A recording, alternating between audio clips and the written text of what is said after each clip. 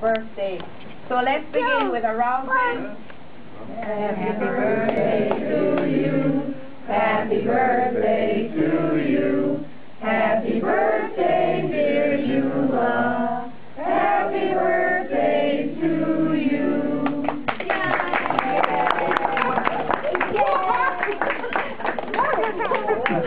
Now you get to cut. Oh, they want to know how old are you?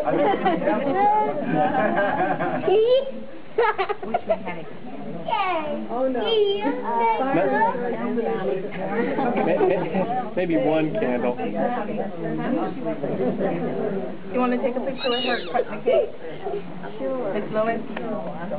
You're not going to mess it up. Just hold the knife. Cut the cake, come on. After three. One, two, three, cut. there you go.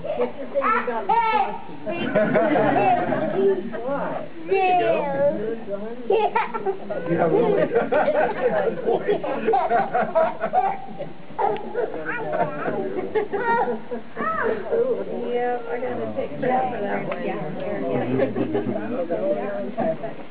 So, Grandma, do you feel any older today? Well, no, I don't. No older? I was born nineteen eight. They said it was Saturday, uh, Saturday, Yes. and they had to put me in a wood burning oven. to put Oh, on. my goodness. And I was down on a farm Kansas City, Missouri. And I lived near where I was born all my life. Until I came up here seven years ago. I, I have a question. Why, why do you think you've got to be a hundred years old? What, what was it? What was your secret? I don't know. Yeah?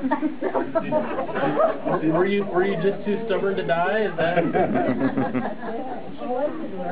Did, did you watch your diet or anything like that? Or get a lot of oh I exercise? worked hard all my life. Right. I did every time. I was never doing a lot. Well, now now you and and how many years you live? Six, 60 years in the same house and on the east, 62 years in the same house on the east side of Kansas City, and worked pretty much the whole time.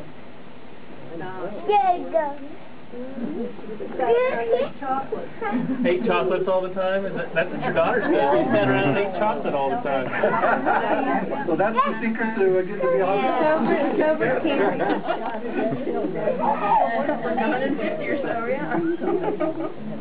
Now, and both of her children are over here. Raise your hand. You must not have given her a hard time. Good gift. They gave each other a hard time. They did it That first. that works good. That works. And today in the I had a birthday card from people that I knew. I know, they need prayers. How, how many? 20?